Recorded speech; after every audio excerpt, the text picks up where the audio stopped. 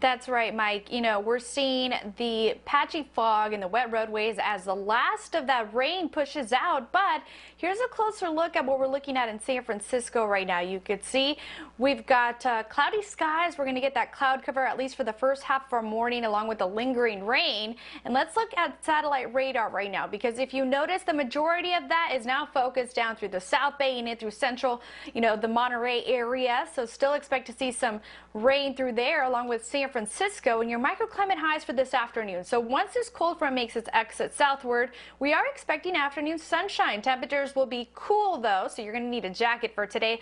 Upper 50s, low 60s for the afternoon, 58 degrees in San Jose, 59 in Oakland, and 56 in San Francisco. How long are we going to remain dry? Well, as that low pressure system continues to track east and southward, high pressure is going to roll around, dominating in our region, and it's going to dry us out for the weekend. Saturday Saturday, it's going to be gorgeous. By Sunday, we'll start to notice an increase in cloud cover. If you notice out in the Pacific where the L is and that band of rain comes through, we've got another system that we're monitoring that's going to be making its move in late Sunday night into early Monday morning. Along with the rain, we're also, of course, going to be expecting that time change. We're going to lose an hour of sleep. Don't forget to do that for all of your non-digital clocks, you know, like your stove top. Uh, if you're like me, my car, I still have to change it manually.